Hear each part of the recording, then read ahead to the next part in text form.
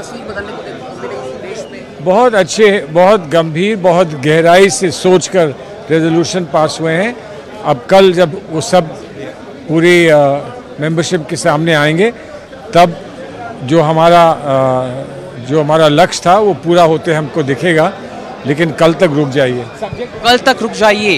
एक बड़ी बात यहाँ पर सलमान खुर्शीद ने कही है कि जो रेजोल्यूशन पास होगा, वो रेजोल्यूशन पास होने के बाद जो है वो तस्वीर बदलेगी और कांग्रेस जो है एक नए रूप में नमस्कार, मैं हूँ मानक गुप्ता। अगर आपको हमारा ये वीडियो पसंद आया हो तो इसे लाइक और शेयर ज़रूर करें। और हाँ हमें सब्सक्राइब और फॉलो करना ना भूलें, ताकि आप देश और दुनिया की कोई खबर मिस ना करें। तो जुड़े रहिए हमारे साथ और देखते रहिए न्यूज़ 24